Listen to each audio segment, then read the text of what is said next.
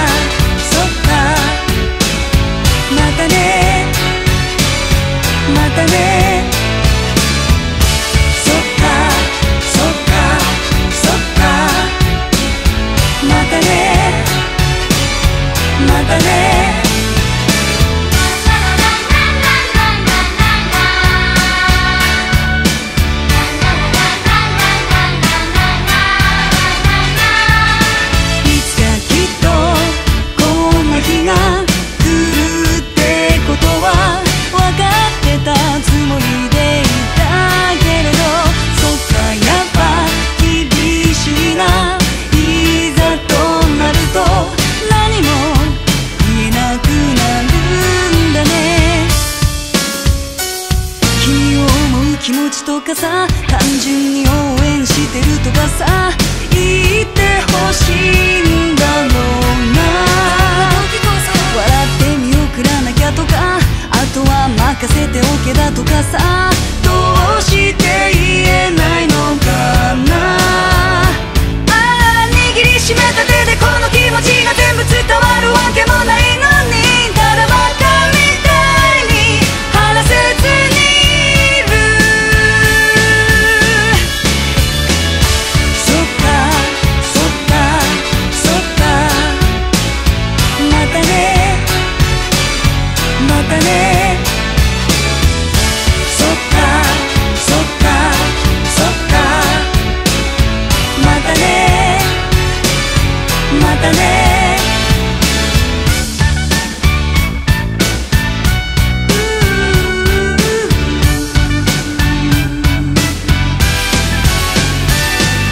そばにいる毎日がこれほど大切だったなんて。なんで今気づくんだろうな。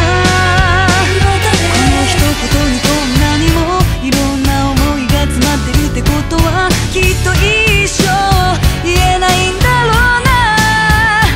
ああでも寂しいとか置いてかないでとか泣き言も言